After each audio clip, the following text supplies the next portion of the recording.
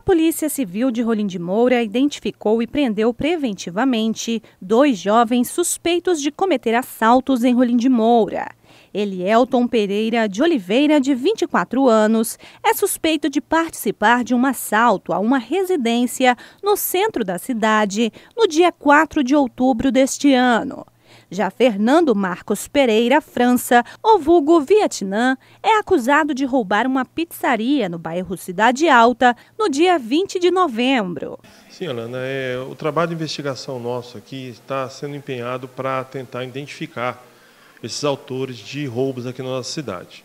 E esse mês nós conseguimos identificar e concluir, já entreguei já para, para o Ministério Público com o, o inquérito relatado, duas ocorrências de roubo, uma em roubo em estabelecimento comercial, que foi lá na pizzaria Pit Stop, na Cidade Alta, no dia 20 do 11, agora recente, e a outra foi numa residência, roubo em residência, no dia 4 do 10, tá, na casa do senhor Júnior Bank. Né? É, esses dois roubos, os, os indivíduos entraram, né, tanto no estabelecimento comercial como na residência, de, em posse de arma de fogo, renderam todo mundo e fizeram a subtração dos objetos. Elielton foi identificado por meio de impressões digitais deixadas em alguns objetos da residência assaltada. Um segundo suspeito de participação no crime já foi identificado. Sim, o Elielton, ah, nós conseguimos identificá-lo, nós já tínhamos suspeito né, de que seria ele o autor. Né, foi captado pela perícia alguns, fragmentos né, de, de, impressão digital é, na residência e conseguimos identificar pelo laudo é, papiloscópico como sendo realmente o Elielto que praticou o roubo.